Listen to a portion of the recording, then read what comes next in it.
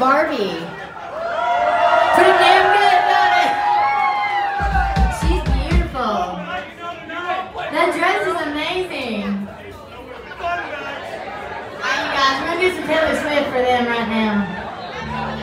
Just remember, if y'all, if y'all ever have a difference of opinion, she's always right, and it, will last a long time. Yeah, you'll be just fine. Just never forget that. Yes, dear. Those are the two most important words in English language, right. sir.